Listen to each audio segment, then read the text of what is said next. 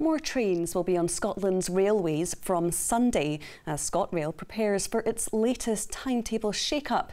Electric trains will be introduced on an upgraded line. And across the country, select services increase to encourage people to use public transport. The changes come as ScotRail announced a survey asking passengers whether they'd like alcohol back on board. Brandon Cook reports.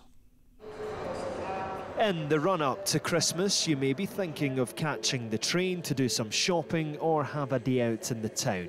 And from Sunday, on a number of services at least, you'll have more options to do just that. ScotRail say their new timetable will improve reliance and frequency across the network.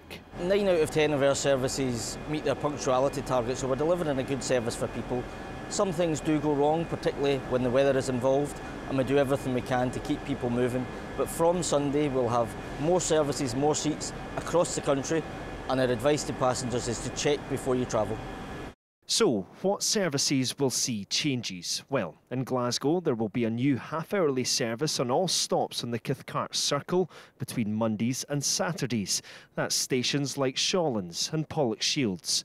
On the west coast, expect extra Sunday services between Glasgow and Gourock. There will be more services between Glasgow and Edinburgh via Shotts, and in East Lothian, services will stop at Wallyford.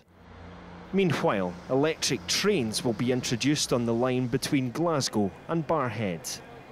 If you've travelled between Glasgow and Edinburgh at any point over the past few years, then it's likely you'll have been on one of these electrified trains already. ScotRail say expanding this between Glasgow and Barrhead shows their commitment in the decarbonisation of their network. After a three-year blanket ban, ScotRail is asking the public whether alcohol should be allowed back on board. Passengers are being encouraged to fill out a survey on their Wi-Fi.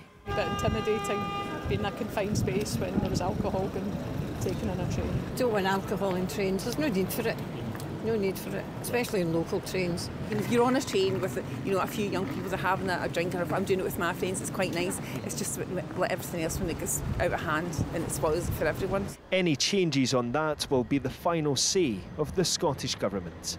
Brandon Cook, STV News, Glasgow.